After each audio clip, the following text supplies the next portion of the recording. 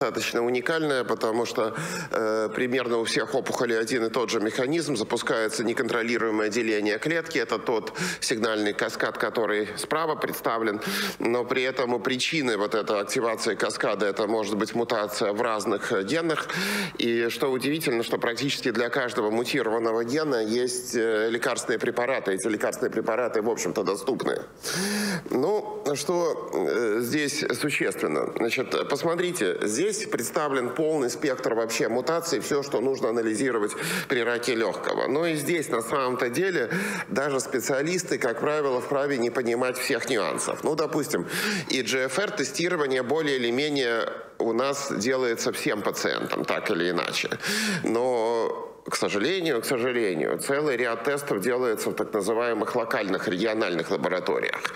Э, почему к сожалению? Потому что на самом-то деле э, и GFR мутации э, 19 делеция 858 – это не полный спектр мутаций. Есть еще так называемые редкие мутации, которые наборы не определяют. И поэтому я, допустим, абсолютно убежден, что любая диагностика молекулярная, которая есть, это не наборное решение. Это не взяли набор, не поставили в аппарат. Это всегда комбинация методов. И в данном случае здесь графически представлено, что у нас, да, ПЦР, конечно, может выявить какие-то наиболее частые мутации. Этот метод называется аллель-специфическая ПЦР. Он в основе наборов.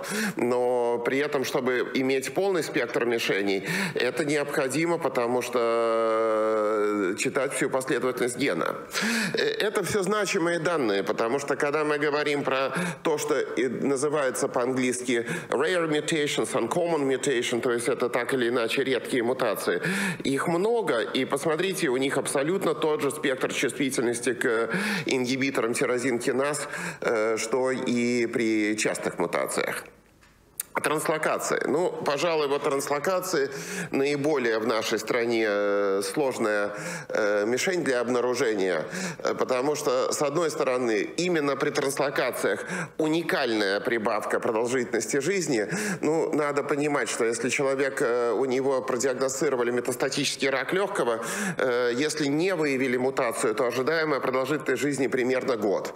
Если мутацию выявили, то ИGФР примерно 3 года. Если мутация БИРАФ, примерно полтора-два года. То есть, мута... Э, то есть обнаружение самих мутаций дает прибавку в жизни, заметную, конечно, но не на порядок. Для транслокации удивительная статистика. Те пациенты, которые начинали лечиться кризотинибом в 2010 году, у них с метастатическим раком половина доживает 7,5 лет. Медиана. Это означает, половина доживает до какого-то возраста.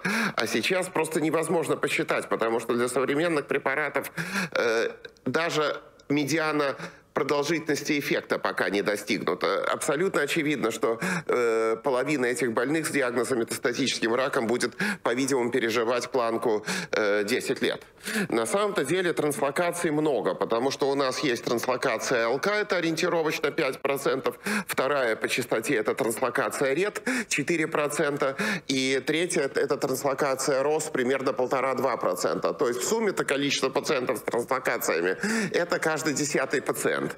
Э, в чем у нас проблема? У нас проблема, что опять же из-за каких-то там, ну, в общем-то, э, достаточно стран, не медицинских соображений, назовем это так, доминируют косвенные методы в диагностике. Иммуногистохимия, ФИШ, это все, во-первых, дорого, а во-вторых, не очень эффективно, потому что косвенные методы для диагностики транслокаций сейчас, в заголовок доклада 2023 год, применять нельзя нельзя, потому что есть прямые методы, которые намного более эффективные.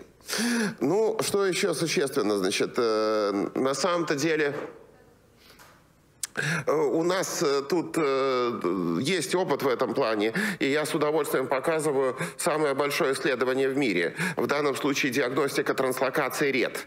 По идее, конечно, в идеале бы надо лечить РЕД мутированные опухоли, их много специфическими РЕД-ингибиторами, их два, селперкотинип и пралсетинип. Но в стране их сейчас из-за санкций нет, один из препаратов появится, но зарегистрирован он будет для рака щитовидной железы.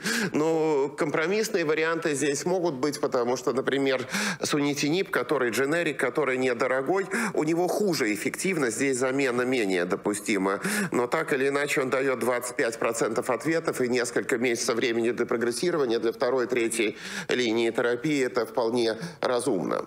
Еще очень важный момент, когда мы говорим про диагностику рака легкого. Эту проблему пока в полной мере исчерпывающе решить э, не удается. Время. Дело в том, что, посмотрите, э, неумолимые цифры, которые показывают э, исследования, если у пациента обнаружена мишень, и если он сразу получает таргетную терапию, то продолжительность жизни больше. Получается, что все-таки все эти тесты должны укладываться хотя бы в две недели. С учетом логистики, честно говоря, мы как лаборатория укладываемся в 10-12 дней. Э, и логистика не так много времени занимает. Мой опыт сейчас говорит о том, что скорее уже проблемы стали на этапе отправки в учреждение. Пока направления напишут, пока образцы найдут. Получается, что все-таки у нас далеко не все пациенты получают таргетную терапию в первом Erbo e Еще одно, в общем-то, достаточно распространенное заблуждение. Принято считать, что не специалистами принято считать, что НЖС это панацея от всех бед, это НЖС выявляет все мутации. Нет, не все. Дело в том, что когда мы говорим про НЖС, у этого метода самый главный недостаток – это время выполнения анализа, примерно месяц-полтора как минимум.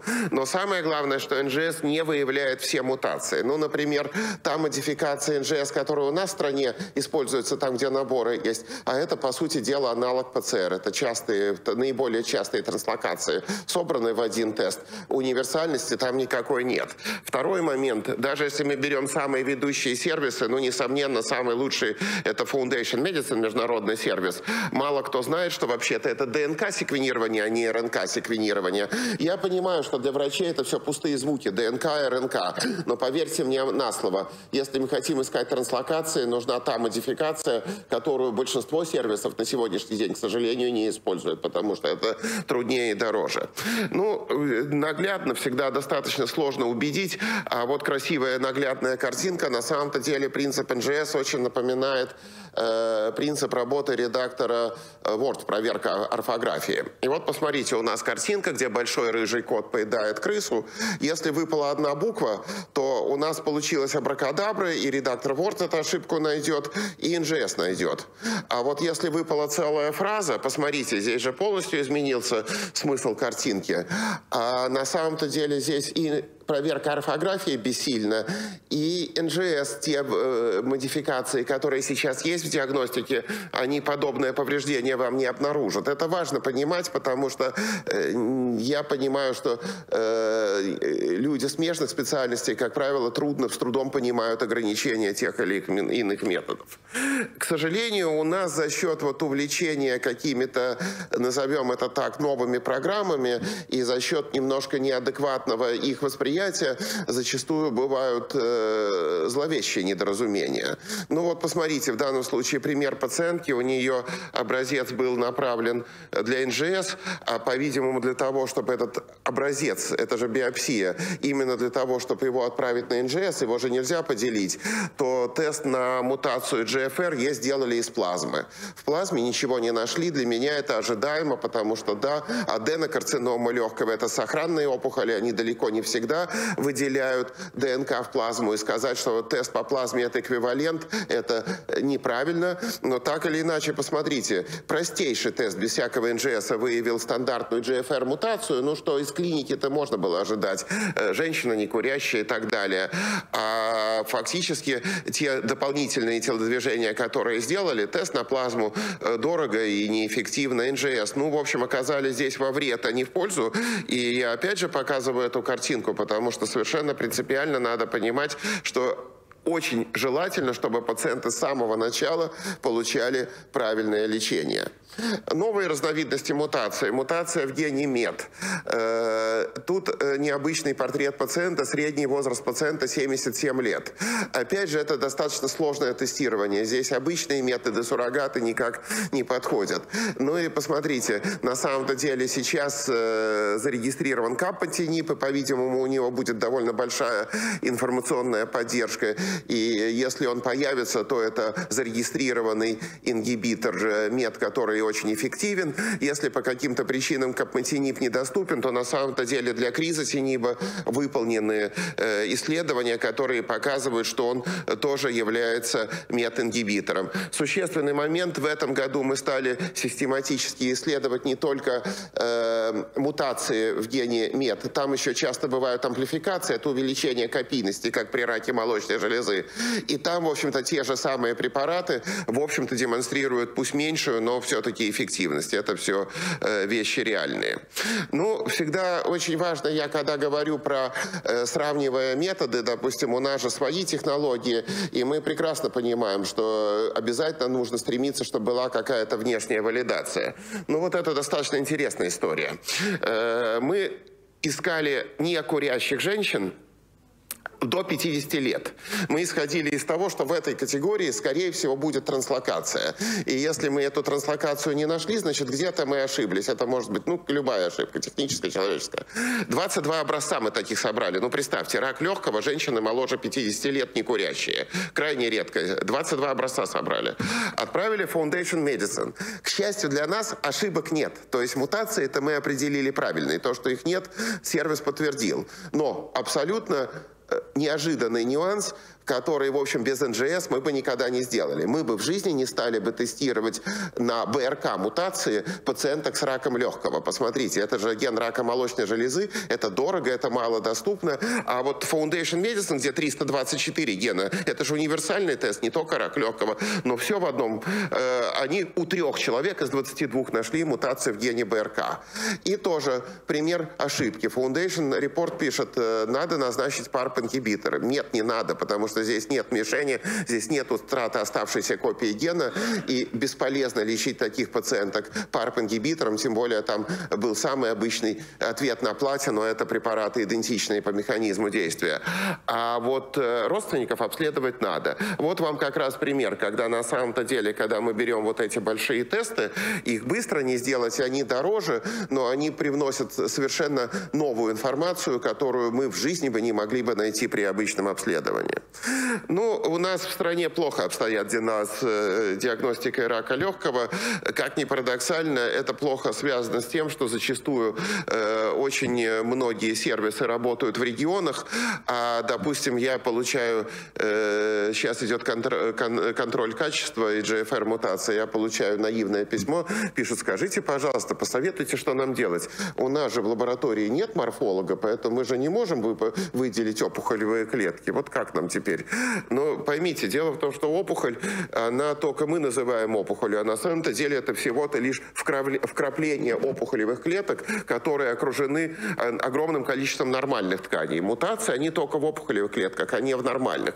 Что я с ужасом вижу, что так как молекулярная генетика, другие специальности, львиная доля лабораторий работает вообще без привлечения морфологов. То есть они ломтями нарезают, и поэтому у нас в некоторых регионах частота мутаций DGFR не 20, 20%, как должна быть, а 3%, потому что они тестируют нормальные ткани и, конечно, ничего найти не могут. Э, следующий этап. Э, слишком много влияют э, на процесс диагностики фармкомпании. Еще год назад или два года назад, когда была очень активная поддержка иммунотерапии, сейчас эти компании ушли из страны, что происходило? Делают EGFR-мутацию, а потом сразу прибегают представители фирмы и просят моментально, чтобы отправили на PD PDL-тестирования, потому что иммунотерапию надо пристроить. Э, э, э, жуткая ошибка, потому что на самом-то деле PDL-тест, он вообще не легитимный, если вы не исключили все эти мутации. Это очень важно вообще, что нельзя применять PDL-тестирование и иммунотерапию, пока не исключены все мутации. И вот сейчас у меня письмо в компьютере, скажите, пожалуйста, вот вы протестировали, а PDL-то где анализ? Там мутация вред онкогения. Ну, абсолютно бессмысленно в данном случае рассматривать возможности иммунотерапии, независимо от того, какой статус теста. Для мутаций характерна псевдоэкспрессия PDL1, когда у нас э, нет э, никакой иммуногенности опухоли, а именно за счет активации э, псевдоэкспрессия, когда огромное количество PDL. Ну, у нас очень большое достижение, уже три года как референс-центр мы работаем.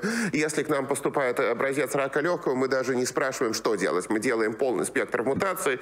Это все бесплатно для пациентов, потому что ОМС покрывает три теста. Это и GFR, АЛК и БИРАФ. Все остальное мы делаем в рамках единого теста, что называется, в подарок. Ну и важно, что мы это все у нас хорошо организовано. Все-таки курьерская доставка наша и возврат материала. Э, все это сделано правильно. И в этом плане мы, э, в общем-то, работаем на самой высокой планке мирового уровня. Большое спасибо за внимание.